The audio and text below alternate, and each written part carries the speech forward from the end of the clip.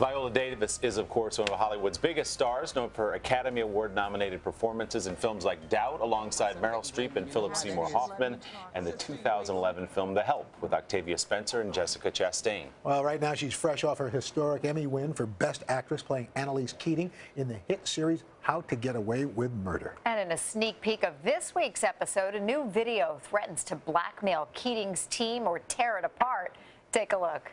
You get to hold a grudge right now. No?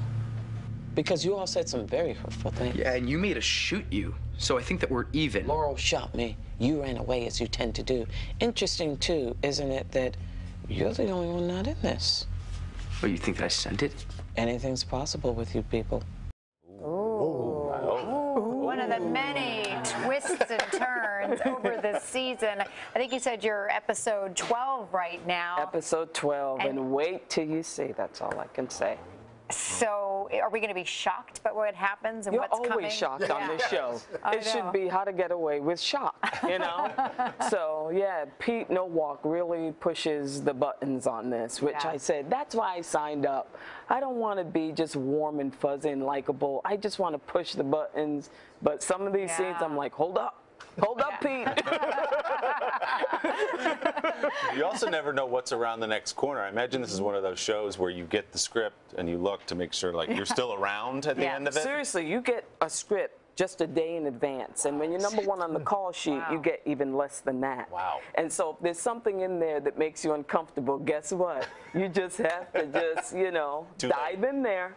You know, especially Incredible. some of these little sexual scenes. Mm-hmm. You know, Well, people have been loving Salacious. Oh, salacious. You know, Is that kind of oh, fun? okay. That part of it? Absolutely not, Al. no, it's not. You know.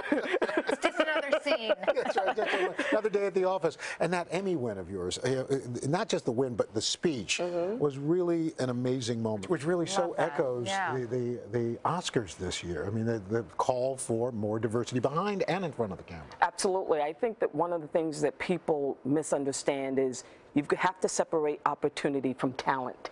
That people feel like if the roles aren't there, that means there's no talent out there. That's not true.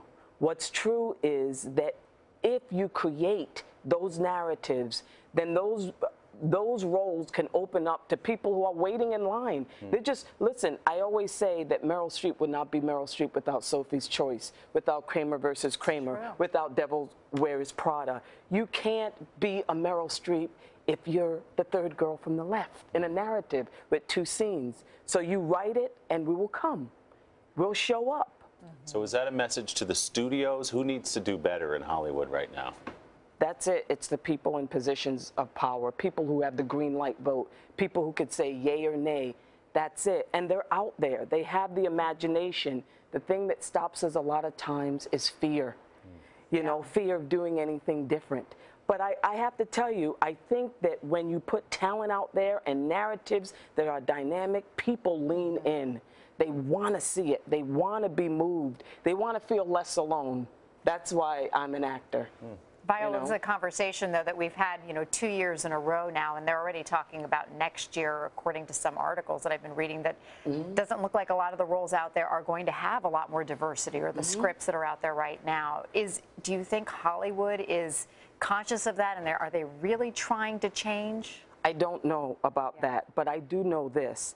I do know that, especially women out there, I'll, I, I'll just say this that they're not comfortable with just sitting back anymore. That they want to play a more active role. I know Taraji P. Henson. I know Kerry Washington. I know Halle Berry. They're, they're walking and stepping into their power as producers. They're putting the narratives out there that they want to do, that they want to see other women of color in.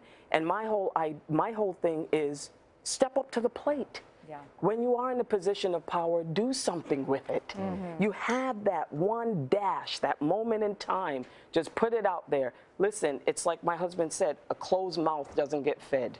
Mm. True. You know? Yeah.